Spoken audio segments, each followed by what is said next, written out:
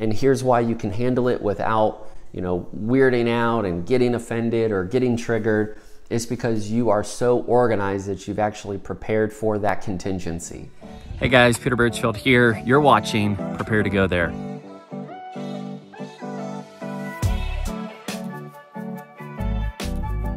Hey friends, Peter Burchfield here. I'm a leadership preparedness coach. This is a really practical question. How do you stay organized when extra things pop up?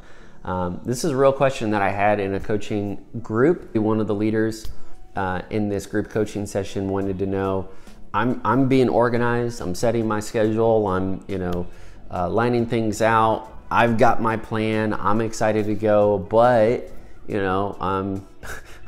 on a team with other people. What do you do when other people, specifically those that you report to directly, when they bring up stuff that wasn't in the plan?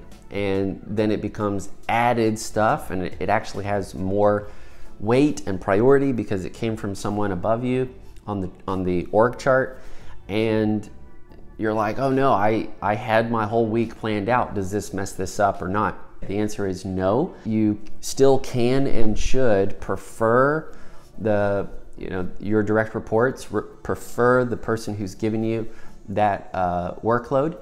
And here's why you can handle it without you know weirding out and getting offended or getting triggered. It's because you are so organized that you've actually prepared for that contingency. You've actually built in margin in your week for that kind of stuff to happen.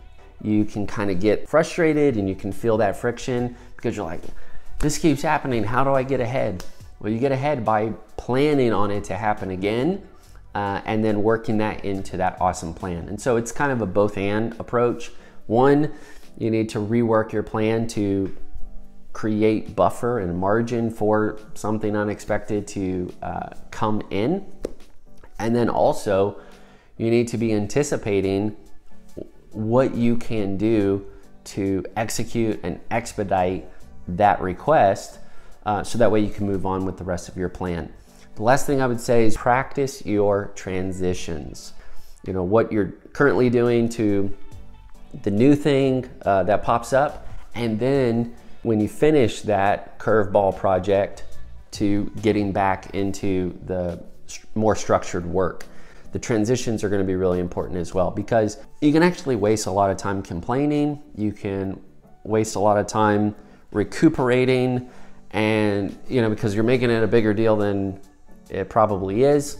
And then you're like appealing you know to to higher ups like i shouldn't be doing this. And literally all that time that you're kind of fighting the system you could be outsmarting it. Don't put yourself through that. Build trust. Uh, keep working on yourself, keep working on your team, um, bring results, and then you can uh, reason with them. Just keep going for a great working relationship, a great work environment, and, and then you'll have some relational capital to reinvest in bigger uh, solutions. Remember, you're going places, so prepare to go there.